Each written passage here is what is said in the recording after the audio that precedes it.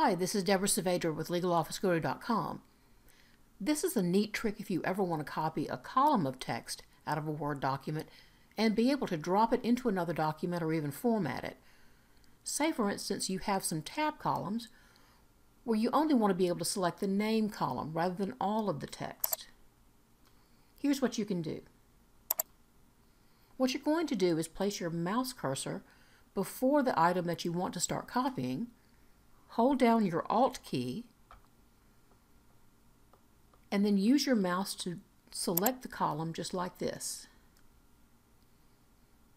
To copy the text, just press Control C from the keyboard, and then you can paste that text with Control V, and just that column of text will appear. That's it. That's the only thing you have to do to copy that column of text. I hope you find this tip useful.